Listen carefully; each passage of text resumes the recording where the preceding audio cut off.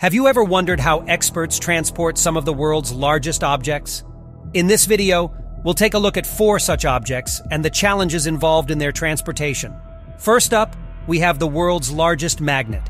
Weighing in at 62 tons and with a width of 50 feet, this magnet needed to be transported from Long Island, New York to a lab in Chicago.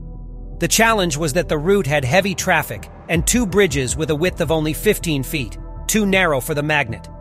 After months of planning by a team of companies, the magnet was transported via a steel frame on a trolley, loaded onto a flat cargo ship, and then traveled by sea for a month before reaching its destination. The entire journey covered a distance of 5,000 kilometer and cost $3 million. Next, we have the world's largest telescopic mirrors, each weighing 16 tons. The task was to transport two of these fragile mirrors over a distance of 200 km from the University of Arizona to the peak of the Monte Cristo. After five months of planning, the mirrors were enclosed inside a 33 ton case and loaded onto a 48 wheeler.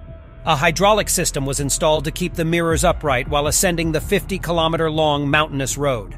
Traffic had to be halted to let the convoy pass freely, and with great care, the mirrors were transported to their destination.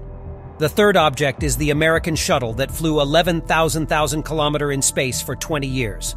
After retiring from NASA's space shuttle program, it was transported onto the back of a Boeing 747 to the Los Angeles airport and then carried to the California Science Museum.